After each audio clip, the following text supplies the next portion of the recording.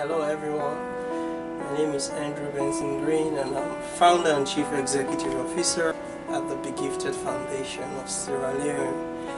Um, our goal is to use a combination of creativity and technology as tools to address human rights, enhance peace and development. Our new and contemporaneous project is called the Second Chances Project. This project provides a new lease of hope for children and youth affected by war and simultaneous periods of war and Ebola to be able to emerge and model past those challenges through our approaches of creativity and technology. Over the last 15 years, I've been an integral part of youth development and programs that serve the common good. In the last 15 years, I've realized the problems faced by young people following the conflicts that raged in our country which lasted for over 10 years. It was and still is my belief that creative approaches backed by technology innovation can help young people to move past the state of grief and to engage in the global programs that empower them and help them to move beyond their social and economic challenges. I've dedicated my life to serving and teaching children and youth who have been violated and who have faced hardship as a result of war and Ebola. The Second Chances project is a demonstration of the extent of intervention that can be put into fore to help children and youth and to create the enabling platform for them to hurdle past the many challenges of social and economic problems they face.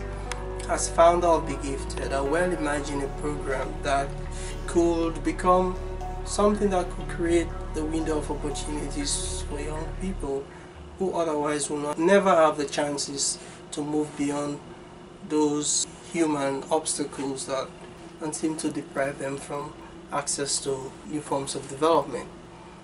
I finished my undergrad in 1998 and immediately in 1999 I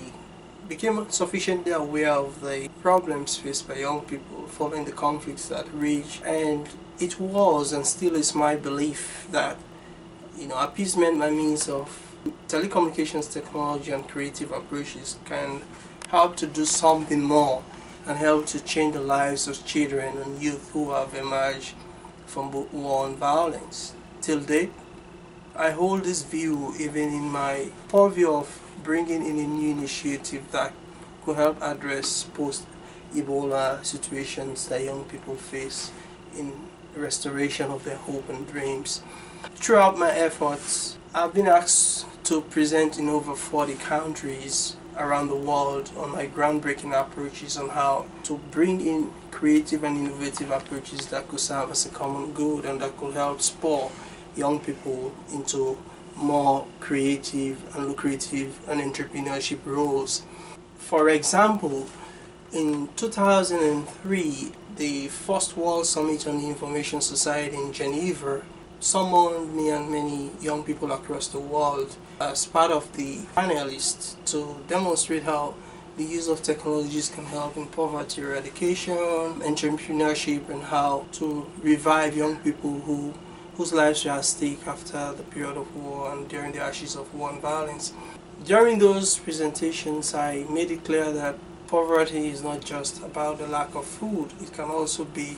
the lack of opportunities for young people to engage in a global society. As a result of that effort, in 2003, the Cable and Wireless ChildNet Awards in UK recognized my efforts one of a number of projects that came to the shortlist. Over the years, I've also been very active on how ICTs can bridge the digital divide. I assembled a number of technologies from the World Computer Exchange to the UK-based charity group Computer Aid International in UK, where we brought computers and technologies and innovations to give a voice to young people who otherwise would not have the ability to articulate their thoughts and their views because of this, the Bremen Peace Commendation and the Threshold Foundation in Germany recognize these efforts and you know, recognize my ability to create peace via technology. And in that same year, in 2003, I was summoned to Germany, you know, to help raise this platform, as well as at the first African Canadian Symposium for Leadership and Integrity hosted by St. Francis Xavier University in Canada. In 2004, I was uh, a GINSOLV scholar in McGill in Canada, where I made clear that the use of children affected by conflicts and child soldiers is prohibitive and that really impedes the growth of young people engaged in societies and the legacy of war on children cannot be overemphasized. So our new initiative called the Second Chances creates an effective system of second chances where young people will have the opportunity to think creatively, to think out of the box, to be innovative, and to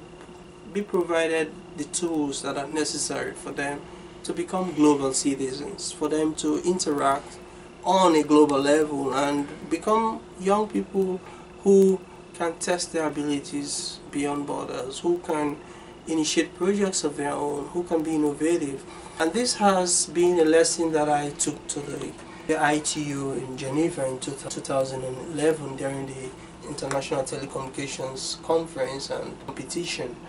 And uh, they were looking for young people whose ideas could help break the mold and who can provide ample proof that technology can help solve real world problems. Today, as I advocate for this very important initiative of giving young people a second chance, not just in Sierra Leone, but within the African communities and within the Mano River Union of Sierra Leone, Guinea, and Liberia, which have had its own legacy of simultaneous periods of war and hardship and now Ebola, young people are at the brunt of all of these challenges and it's all too often that we need to bring in the right tools, the right technology and the right training to give them at least a life that is wholesome, a life that moves them beyond the, the doldrums that you know war and health hazards heave. Right at the top of this is my own leadership potentials to see this project drive through and this was well recognized at the first World Ethics Forum in Oxford in England where the World Bank summoned 25 young leaders in which I was a part and parcel of that debate which saw the interaction that it's only left with the global community to fully involve young people into the process of youth activism, into the process of leadership, into the process of development and until you give young people the opportunities you never know their potentials in life and how they could transform those little opportunities into something that also could have ripple effects in society. So as I introduce this very important project, which is the Second Chance Project, which provides um, a second chance for children, youth who were emerging from wars and Ebola to have an adequate system of second chance. I call upon all of you,